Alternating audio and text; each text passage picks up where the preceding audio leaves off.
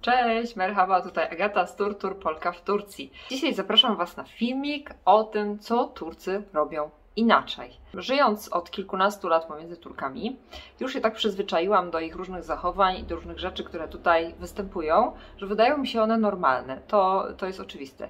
I kiedy odwiedza mnie ktoś z Polski, na przykład tak jak ostatnio moja mama, która jest już ze mną jakiś czas, bo y, pomagała, pomaga nam cały czas od momentu, kiedy drugi mój syn pojawił się na świecie.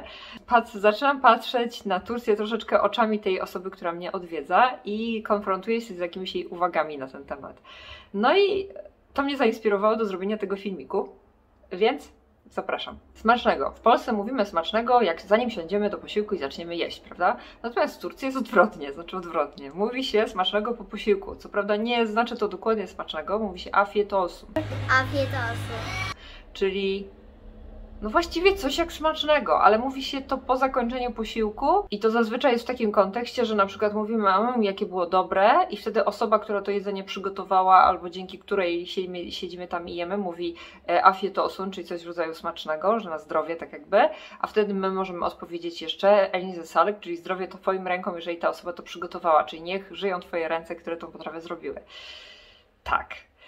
Więc jak widzicie, zupełnie coś innego. U nas się przywykło, że jak się nakrywa do stołu, to dajemy widelec i nóż i do tego łyżkę, jeżeli jest potrzebna i plus małą łyżeczkę. Natomiast Turcy generalnie używają, tak mówię o takich zwykłych ludziach, o nie jakichś takich elitach, wiecie, którzy jedzą przy kryształowych e, w ogóle misach, tylko o takich zwykłych ludziach ze średniej klasy. Przede wszystkim jedzą posiłki e, łyżką, łyżką, i widelca. I te dwa sztućce kładzie się na stół przed potrawą.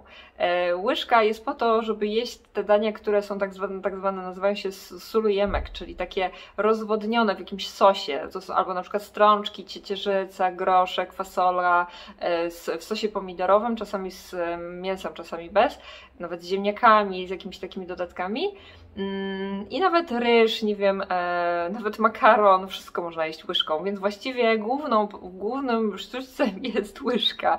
Dodatkowo można jeść widelcem i tak ja w moich, że tak powiem, i podróżach, i w moich wizytacjach różnych tureckich domostw to najczęściej właśnie w ten sposób jem. Nóż, nóż rzadko y, spotykałam. Turecka herbatka. Kto spróbował prawdziwej zaparzonej w dwupoziomowym czajniczku tureckiej herbaty, ten wie, że naprawdę bez niej żyć nie można. Ja sama żyć nie potrafię. W Turcji turecką herbatę pije się po posiłku. Nie w trakcie, nie przed, tylko po posiłku. Jak się czasami przyjdzie, jak ja chodzę z, z moimi różnymi znajomymi turystami, że tak powiem, po tureckich knajpach, to zdarza się, że jak się tak usiądzie, szczególnie w sezonie takim jesienno-zimowy, jak jest trochę chłodniej, usiądzie się w takiej knajpie, jak się przyjdzie do niej, zanim się zamówi w ogóle posiłek, to jest najpierw takie, to co, najpierw może herbatkę, żeby się rozgrać, a potem posiłek. Nie, nie, nie, w Turcji nie, w Turcji tak nie jest. Oczywiście Turcy się przyzwyczaili, że turyści mają takie prośby i takie życzenia i jeżeli się poprosi o herbatę przed posiłkiem, to się ją dostanie zazwyczaj, jeżeli jest zaparzona świeża, ale... Yy, w Turcji jest taki zwyczaj, że herbatę i ciepły generalnie napój daje się dopiero po posiłku. Podczas posiłku jest woda zazwyczaj albo ayran, czyli rozwodniony jogurt, taki słonawy rozwodniony jogurt. Bardzo polecam, bardzo pyszna sprawa. E, natomiast e, po posiłku dopiero pije się ciepłe napoje, takie jak herbata czy kawa po turecku. Zresztą mogę powiedzieć taką ciekawostkę. W Turcji e, śniadanie po turecku nazywa się kahvalty, czyli dosłownie coś w rodzaju pod, podkawek, tak jak u nas podwieczorek, że jest pod, przekąska przed wieczorem, tak, to jest podkawek, czyli przekąska przed kawą. Najpierw się je śniadanie, a potem się pije kawę. Więc rzadko który Turek będzie zaczynał dzień od filiżanki kawy. Najpierw najważniejsze jest to, żeby zjeść to tureckie śniadanie, dopiero później w trakcie śniadania, oczywiście to jest ten jedyny wyjątek, że w trakcie śniadania tureckiego pije się czaj, czyli herbatkę, ale już e, kawa musi być bezwzględnie po posiłku guziki na taksówki. W Turcji jest genialny, naprawdę genialny wynalazek, który po prostu ubóstwił i który przeniosłabym wszędzie. Są to guziki na taksówki. E, wygląda to w ten sposób, że e, na skrzyżowaniach są na słupach różnych, czasami na drzewie nawet, są przymocowane takie pudełka właśnie z guzikami. Wystarczy przycisnąć kilka sekund palcem guzik i przyjeżdża taksówka. Nie trzeba dzwonić, nie trzeba nosić ze sobą komórki, nie trzeba mieć doładowanej karty, nie trzeba mieć naładowanego telefonu. Wiecie, różne są życiowe sytuacje, nie zawsze ten telefon przy sobie mamy gotowy do tego, żeby zadzwonić. I tu pojawia się turecka inwencja i wszędzie, gdziekolwiek nie byłam w Turcji, to widziałam, że oczywiście im większe miasto, tym więcej tych guzików jest i tym szybciej taksówki przyjeżdżają. Przyjeżdżają z najbliższego przystanku po prostu. Każdy ten guzik jest powiązany z konkretnym postojem taksówkarzy. Tu jest jedna, tam po przeciwnej stronie jest druga, tu trzecia i tu czwarta. Dlatego, że z każdej strony jedące taksówki jadą z innego przystanku taksówek. Więc dla każdego taksówkarza jak gdyby inna trasa będzie wygodniejsza, żeby jak najszybciej przyjechać. Więc jeżeli jedziemy w jedną stronę, to nie trzeba przechodzić na, wiecie, na przeciwną stronę ulicy i potem auto będzie zawracało, żeby was odebrać, tylko przejeżdżając zatrzyma się i od was, was zgarnie. Kiedyś zrobiliśmy z moją mamą taki błąd, że po naciśnięciu jednego przycisku taksówka nie od razu przyjechała, więc poszłyśmy na drugą stronę ulicy i nacisnęliśmy drugi przycisk i okazało się, że przyjechały dwie taksówki. Zawsze oczekiwanie na przyjazd taksówki to jest dosłownie kilka minut max, jeżeli są jakieś objazdy czasem dłużej. Ja tu mówię o mniejszym mieście, tam 200-300 tysięcznym, takim jak jest Alania. Nie wiem jak to jest w Stambule, jeżeli ktoś korzysta w Stambule z takiego systemu, to niech podpowie w komentarzach. Każdy przystanek skupia konkretnych taksówkarzy. Oni należą oczywiście do zrzeszenia, ale jak gdyby każdy taksówkarz jest związany z konkretnym jednym przystankiem. I e, jeżeli tam urzęduje, no to słychać po prostu jak ten dzwonek dzwoni, e, to w danej budce tak każdy ten jest ten, ten dzwonek słychać i wtedy taką jaką mają kolejkę po kolei, także każdy taksówkarz jedzie na to wyzwanie konkretne. Pozostając w temacie taksówek, taksówkarze mają domki. Na to uwagę zwróciła moja mama, bo faktycznie, tak jak właśnie mówię o tym, że oni są skupieni na tych przystankach e, swoich, to to nie jest tak, że to jest zwykły napis taksi i tyle i te taksówki sobie po prostu stoją, tylko ci taksówkarze, oni tam spędzają więcej czasu. Oni tam mają łazieneczkę, oni tam mają kanapę, mają telewizor. To może zajrzymy do środka. Może się uda zajrzeć do środka, jak wygląda, bo nie ma nikogo akurat. Tu jest toaleta, kanapka do polegiwania w oczekiwaniu na klientów i oczywiście nieśmiertelna herbatka. A to co pika, to chyba właśnie ktoś czeka na taksówkę na jakimś przystanku, a tu nikogo nie ma. Poza tym oni się lubią socjalizować, jak to prawdziwi Turcy, więc nie będzie siedział każdy jeden sam w swojej taksówce, tylko po prostu siedzą sobie w swoim domku, na swoim postoju, yy, oglądają sobie seriale, gadają sobie, piją sobie herbatkę, bo oczywiście herbatka jest obowiązkowa w takich sytuacjach i w ten sposób czekają na klientów. Więc można podejść, jeżeli się chce taksówkę, można podejść bezpośrednio na taki postój, no a można właśnie przyciskiem taksówkarza zawołać. I kolejna rzecz dotycząca taksówek jeszcze, to jest yy, to, że przynajmniej Alanii, gdzie mieszkam, większość praktycznie jak rozmawiałam z taksówkarzem, 98% taksówek strzelam, to są taksówki kombi.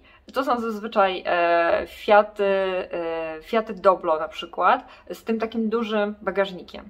Oczywiście w mieście, które jest e, w dużej mierze turystyczne, to jest bardzo praktyczne rozwiązanie. Podejrzewam, że w mniej turystycznych miastach już ten wskaźnik, że tak powiem, normalnych samochodów osobowych kontra e, e, takie bagażowe auta e, jest już inny, ale tak czy siak jest to bardzo fajne rozwiązanie, bo nie ma problemu z tym, żeby przewieźć jakiś większy bagaż, zakupy, wózek dziecięcy. Czasami niektóry, niektórzy taksówkarze to w ogóle mają na tyle duże te autka i płaci się zawsze tak samo. To nie jest tak jak w Polsce, że jak się chce zamówić taksówkę bagażową, to trzeba dopłacić, tylko po prostu tutaj jak bierzesz taką taksówkę, płacisz tyle samo e, i możesz władować tam swoje walizki, niezłożone nawet, wkładają czasami niezłożony wózek dziecięcy do tego bagażu, wszystko się elegancko mieści. To, co kocham w Turcji, jest tutaj genialne, to są tureckie autokary międzymiastowe. Podróżowałam po Turcji zawsze bardzo często i bardzo długie trasy, nawet 900-kilometrowe e, ze Stambułu do Alanii albo ze wschodu Turcji do Alanii, kiedy wracałam spod Syrii. Także robiłam całkiem, całkiem duże trasy.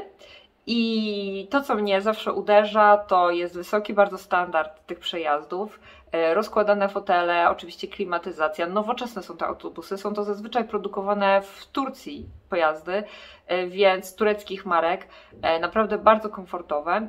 W każdym autobusie znajduje się steward, poza kierowcami, poza kierowcą jest steward, który pilnuje porządku, sprząta różne śmieci, częstuje napojami bezpłatnymi, kawką, herbatką, wodą, czasem jakimś babeczką, przekąską albo nawet lodem, jak jest gorąco. To w zależności od linii e, autokarowej.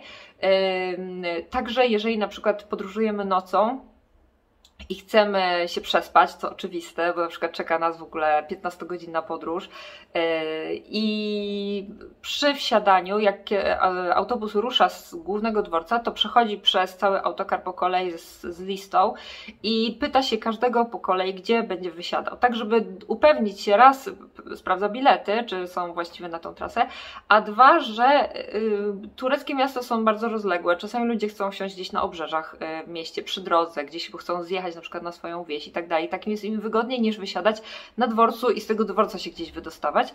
Więc jest to po prostu mega rozwiązanie, jeżeli się też przyśpi.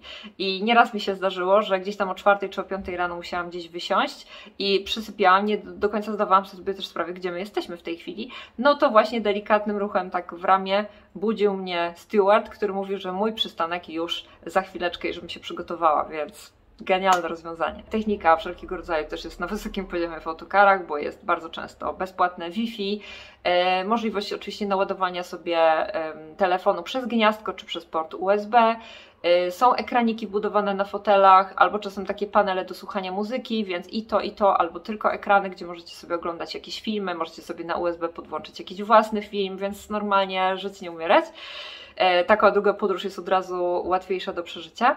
Ale co jest ciekawe, jeżeli kupujecie bilety podróżując samotnie, to jest tylko i wyłącznie dotyczy podróżników e, samotnych, to e,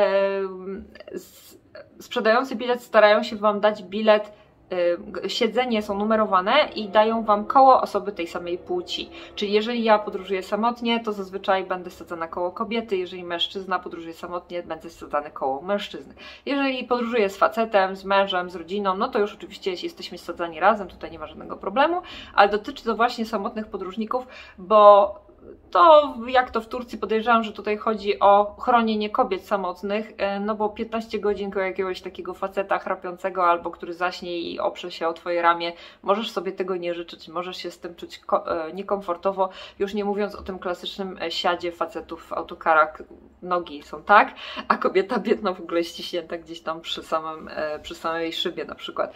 Więc ja sama, mimo że jest to pewnego rodzaju, no nie pewnego rodzaju, tylko jest to segregacja płci, to mimo, e, mimo tego uważam, że jest to świetne i bardzo komfortowe rozwiązanie i ponieważ no sama podróżowałam sama wielokrotnie po Turcji, to mogę tylko powiedzieć, że kciuki w górę za taką opcję. Co jest jeszcze fajnego w tureckich autokarach, e, a dokładnie podczas rezerwacji e, biletów możecie zarezerwować poprzez rozmaite aplikacje na telefony, poprzez strony internetowe.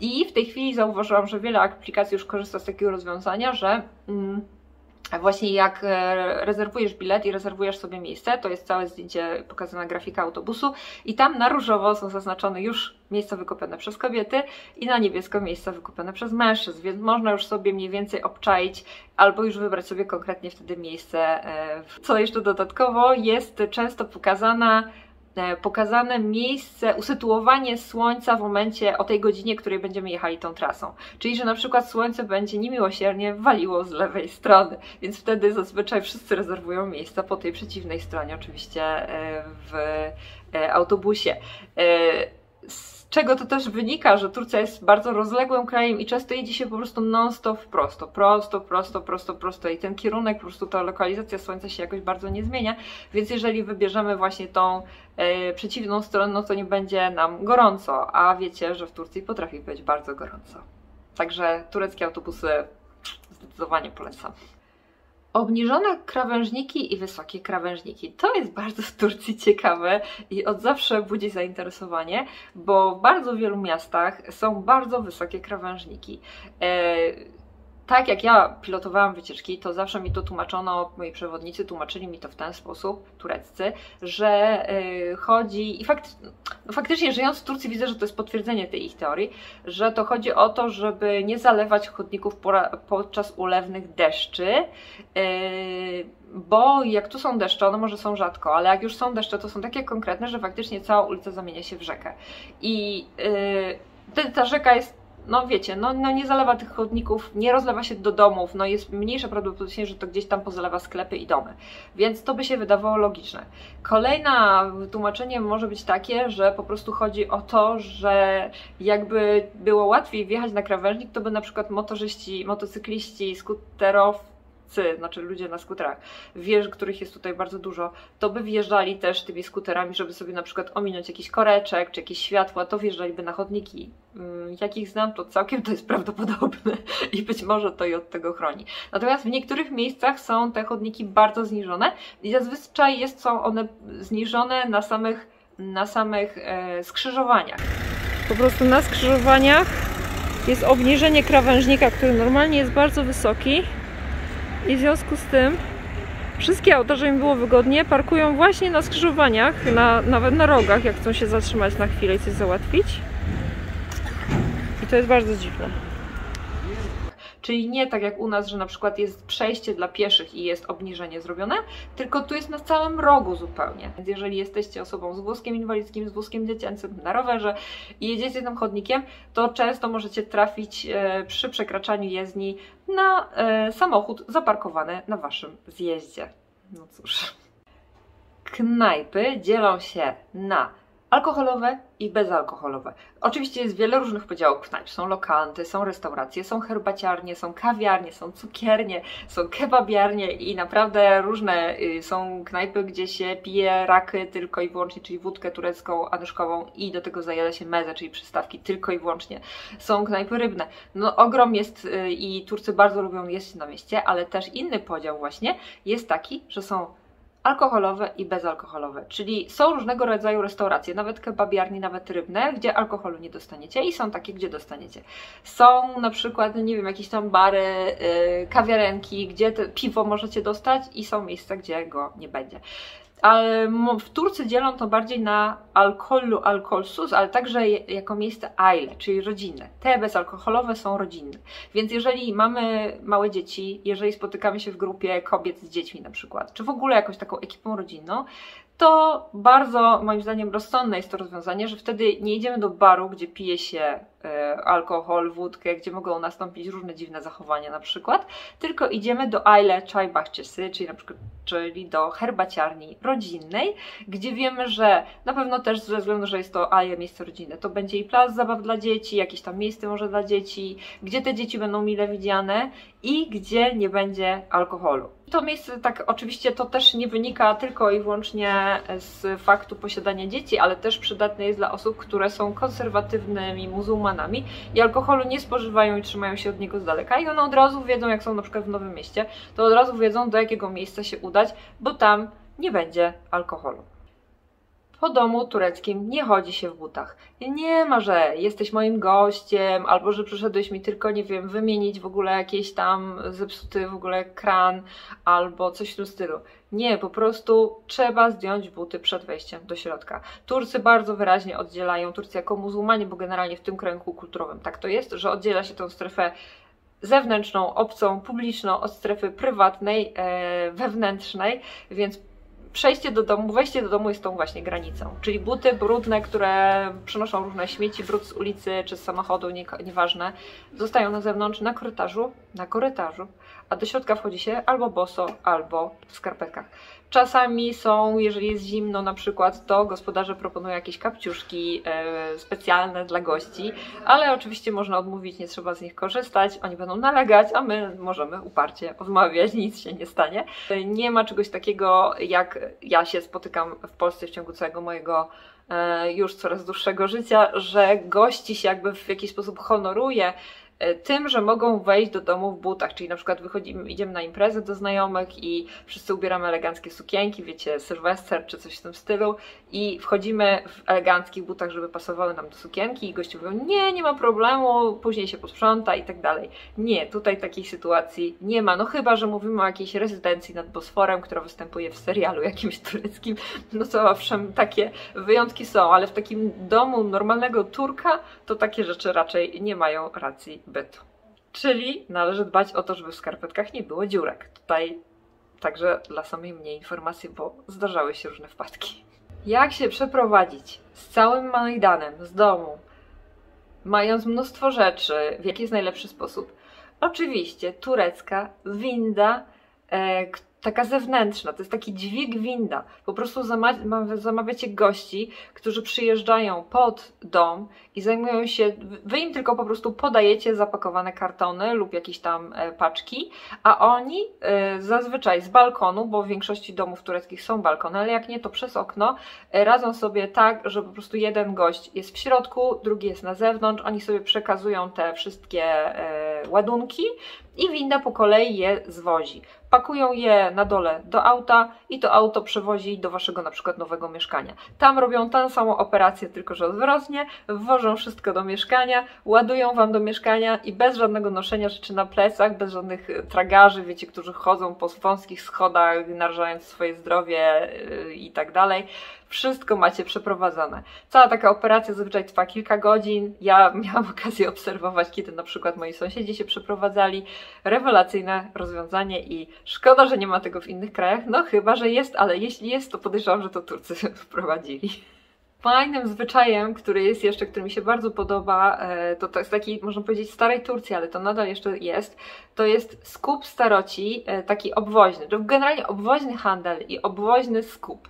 E, jeżeli mamy jakieś stare rzeczy, to możemy sobie poczekać na moment, kiedy w naszej dzielnicy pojawi się pan, który woła Eskidzy! I to będzie słychać, jak się ma zazwyczaj otwarte okno czy balkon, że taki takie, takie nawoływanie się wzmacnia, wzmacnia, czyli ten pan się do nas gdzieś tam zbliża, idzie naszymi ulicami. On zazwyczaj bardzo powoli jedzie, albo starym takim, taką y, autem z przyczepką, albo jakimś takim, y, takim ala pick-upem, wiecie, czymś w tym rodzaju.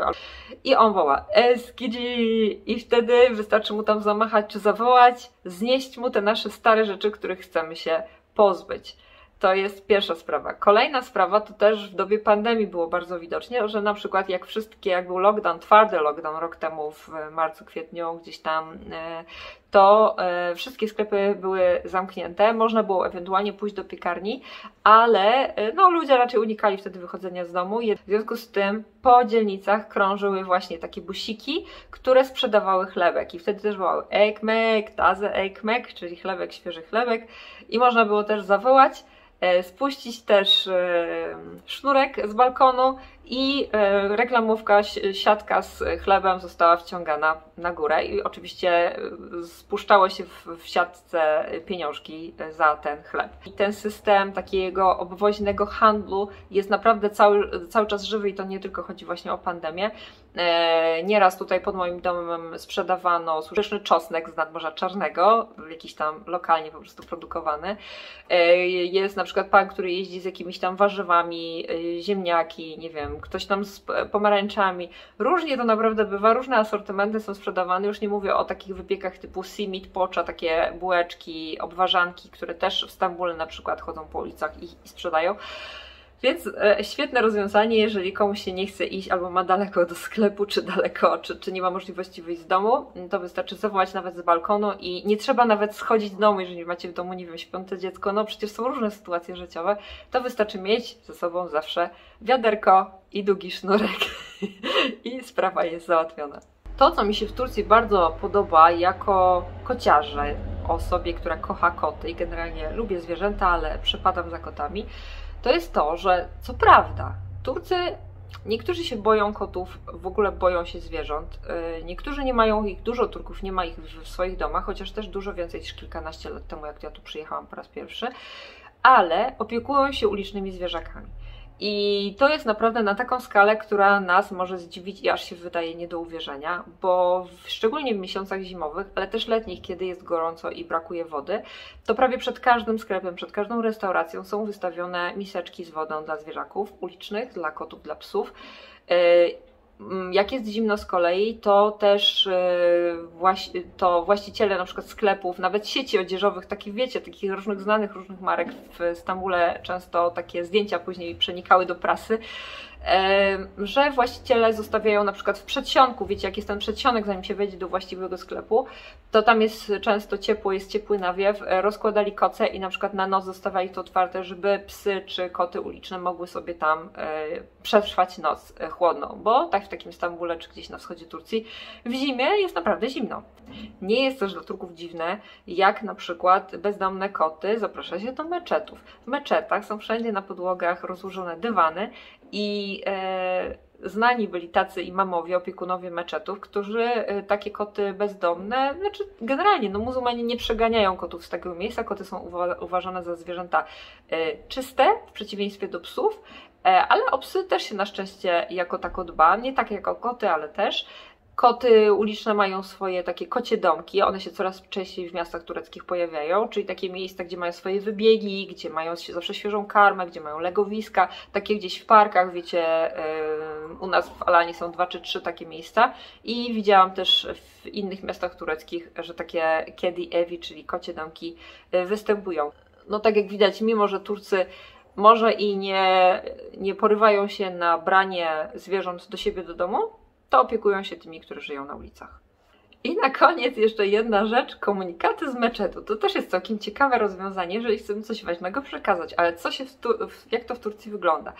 E, tutaj każdy meczet ma jakby w swoim zasięgu powiązane, e, jest taką siecią nadawczą, co?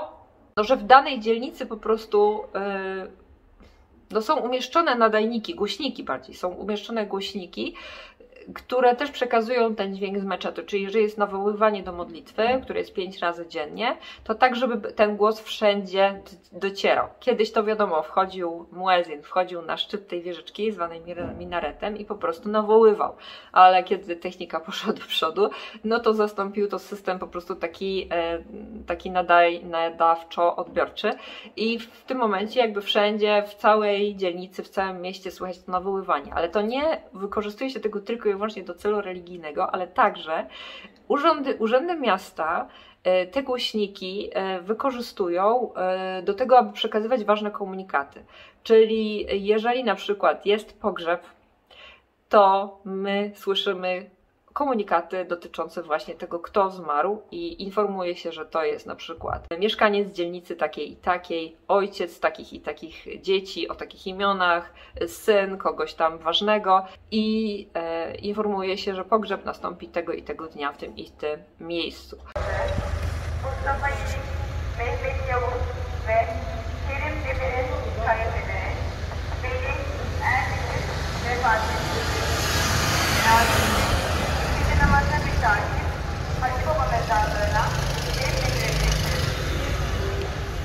To jest o tyle ważne, że pogrzeby się bardzo szybko w Turcji e, organizuje, nie tak po kilku dniach jak u nas, tylko w ciągu 24 godzin właściwie pogrzeb powinien mieć miejsce. Dlatego e, no, trzeba szybko dotrzeć do największej ilości osób, które mogą być zainteresowane pojawieniem się na takim pogrzebie. I stąd też te komunikaty podejrzewam, że robią dobrą robotę. Poza tym czasami są różne takie informacje Urzędu Miasta na przykład, że mamy lockdown i że nie wolno wychodzić z domu przez kolejnych ileś tam dni.